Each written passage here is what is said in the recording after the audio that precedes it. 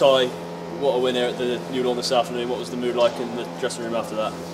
It's the uh, feeling we've been chasing for a long time. It was really good to get a win, and the the atmosphere in the change room was great. And we just want to keep striving because uh, that we've built up some momentum now, and we just want to keep going. That feeling you've experienced in there, because it's been so long since you felt that last. Can you Yeah. use that as motivation now to go forward? Can that Hundred percent, hundred percent. We have to. We have to. Um, we've got the momentum now. We need to keep going, but we also need to be aware that we have to do the same things we did prior to this game. In terms of way we prepared for it, we can't get too ahead of ourselves because every game's a challenge. Every game's a new challenge. But this is definitely a great start for us.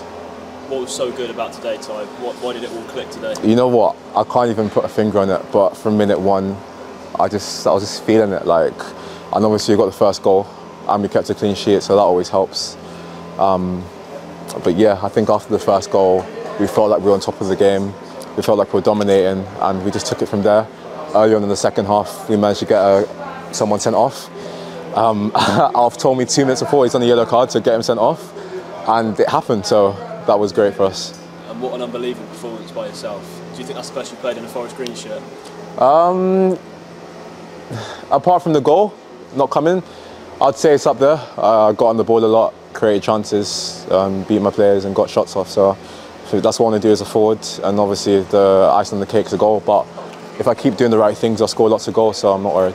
You've got to be selfless in this moment, haven't you? Because Yeah. it was an unbelievable performance from yourself. You forced the first goal with your Yeah. shot. Yeah. I suppose you didn't get a goal for yourself, which is frustrating, but Yeah. you've got to look at the bigger picture.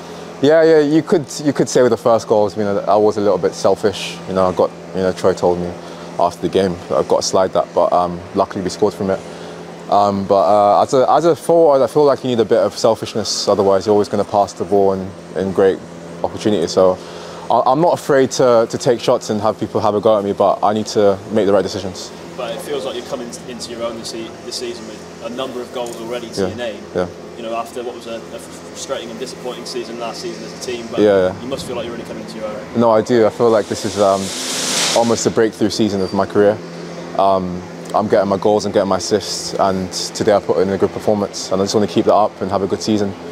How good was that feeling at the end with everybody going round, getting the fans involved, and it's about keeping that as well and using that as motivation. That's why I started playing football.